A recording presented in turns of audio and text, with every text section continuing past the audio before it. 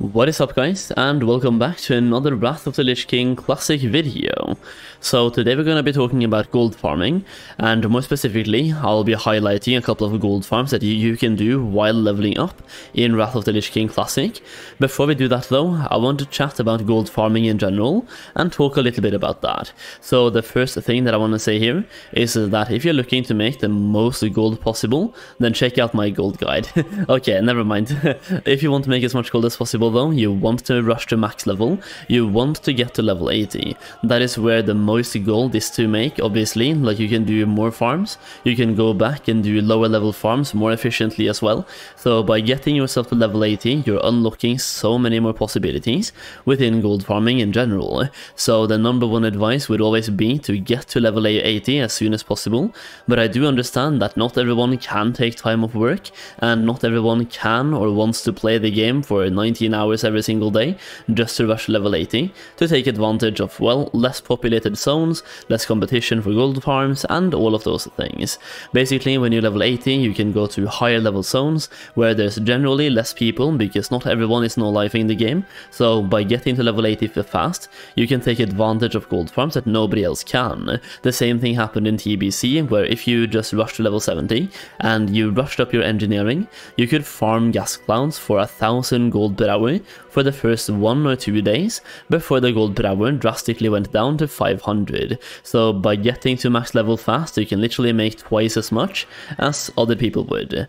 Okay, uh, so with that being said, let's talk about some gold farms that you can do while leveling, because if you, if you can't rush level 80, and let's say you're playing 3 to 4, maybe 5 hours every single day, it will take you a couple of days to get to level 80, and you might want to farm some gold while the materials are at peak value.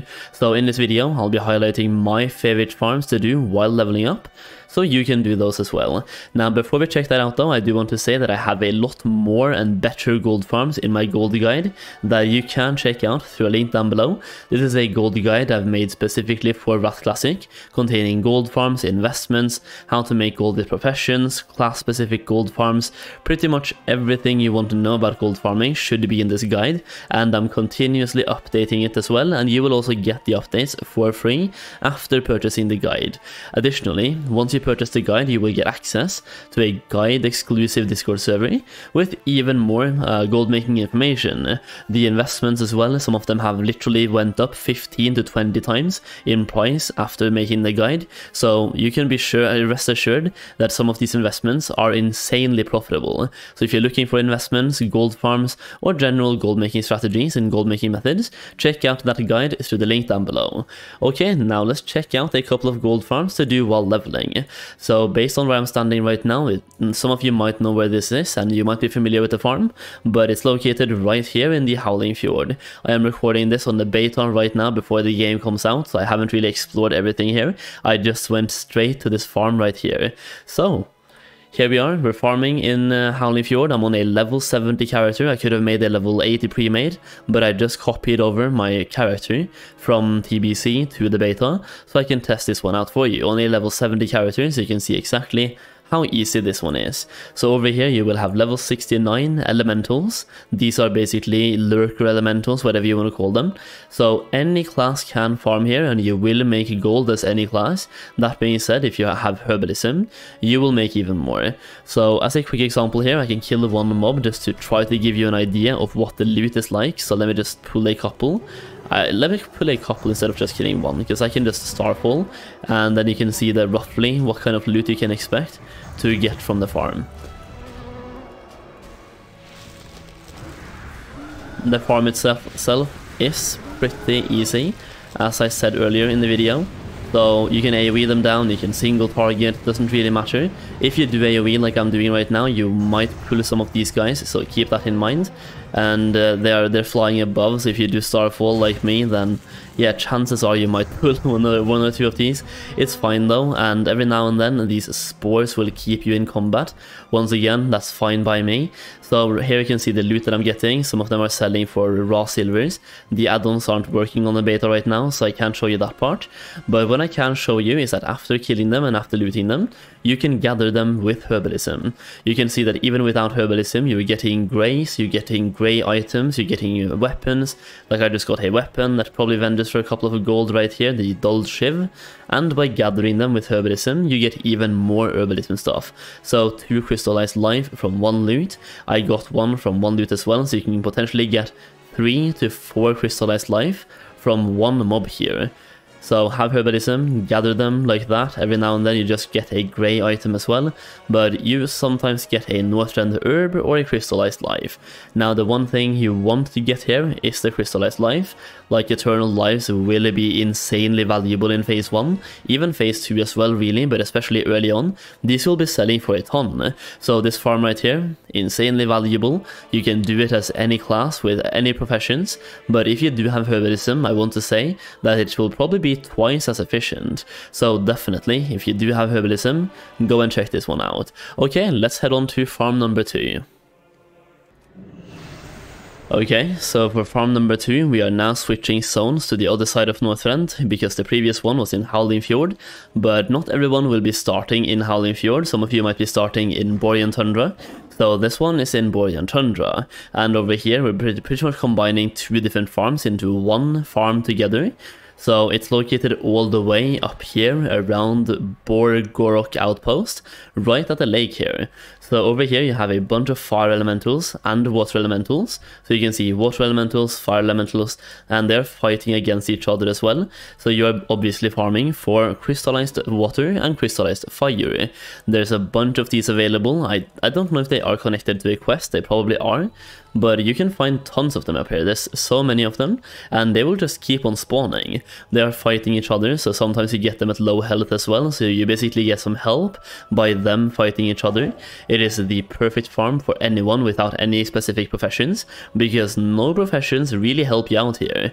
There's nothing that really helps you out, there's no gathering, nothing really. So just pull anything. The one thing is that you will have some mining veins around here, so if you do have mining, well, you have an additional reason to actually be here.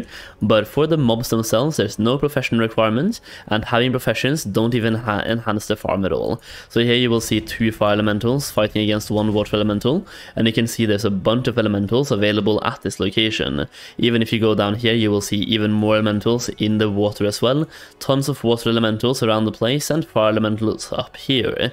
The one thing to be aware of is, that if you're playing a mage and you're a uh, frost mage, you don't want to AoE because your water spells won't be damaging the water elementals, and vice versa for fire mage and fire elementals. So keep that in mind if you're playing a specific class with a specific type of fire or water damage spell. But yeah, other than that, it's a very good farm, definitely worth testing out for both crystallized water and crystallized fire that will be turned into eternal life, uh, not eternal life, eternal water and eternal fire. Okay, this next farm is very low key and it's once again based on having herbalism and you can combine this one by having skinning and herbalism, so if you have both of those, this one will be great for you. Either way, if you just have one of them, it will still be great. So we're looking at over here at the Argent Stand. Right to the right of Argent Stand, there is one quest at this location, but outside of those quests, like people don't usually go here, and a lot of people might choose to skip these quests as well, just to do the easy parts of this zone before moving on. So over here you have some mossy rampagers, and these are once again moss elementals that you can kill and gather with herbalism. So if you kill one of these, you can get a crystallized life, and you can get some Northrend herbs just by looting them, and then by having herbalism, you will get even more crystallized life, and even more Northrend herbs as well. So herbalism, twice as much loot from these guys, and you will also see there's a lot of beasts around here, so these crystal basilisks, they can be skinned. So you can kill these guys and skin them for additional loot and the chance of getting arctic fur. So if you have both skinning and herbalism, you can literally pull multiple of these and AoE them down in huge and uh, in huge bursts. So right here you would have like a 4 pull, you have 2 basilisks, actually 3 basilisks and one of these guys, so a 5 mob pull right here, and then you just do the same around the entire entire lake. So you will have these guys running all the way up and down the lake, just clear out the lake, and they should start respawning. Alternatively, at the launch of Wrath, we will most likely have layers as well, so you can clear out layer 1, then jump to layer 2, just as an example. Next up, going back to basics, needing no professions, we have a crystallized fire slash eternal fire farm. So you're looking for these guys right here, the seething revenants. They are located at Fjorn's Anvil all the way up here in the Storm Peaks. So all the way northeast in the Storm Peaks. You do technically need flying to get here. You, that being said though, when you do get to the zone, if you are level 76 plus and you don't have flying yet, you can go to K3, get yourself a borrowed flying mount, and then you can use that in Storm Peaks to fly yourself up here. So you can start farming here the second you get to level 76. That being said, they are level 80, so keep that in mind. It might be difficult for you, but if you reach semi-high levels semi-fast, you can start going here before people go here to do dailies. Yes, these guys are connected to daily quests, so this is a gold farm that will really be worth it if you get here fast, but if you are here when people do dailies, it might be difficult for you to get tags. They are located right here at the Anvil itself, and all the way around to the east of Dun Niffelem. So when I'm flying out here, you can see there's one over here, and there's a couple of them on the ice over here as well. So literally just fly laps up and down and hunt for these guys. Alternatively, use a target macro, and you will find them all over the place. Beware of these uh, big elite giants. They are very annoying and they, they, they deal tons of damage, so be aware of those. Okay, so those are quite, uh, those are four gold farms you can do while leveling up.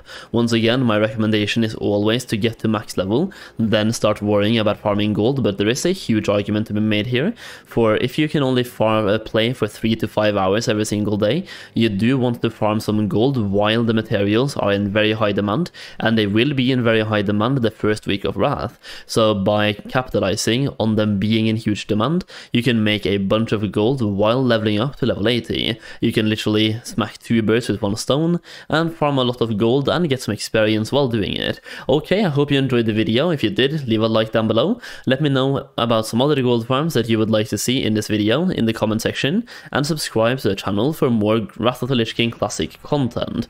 I will be uploading a lot of gold farms as we move into Wrath, and I'll be streaming it as well, so if you want an early insight on which farms I'm personally doing, then follow me on Twitch. The link is down below. Okay, thank you so much for watching, and I'll see you again very soon. Peace out.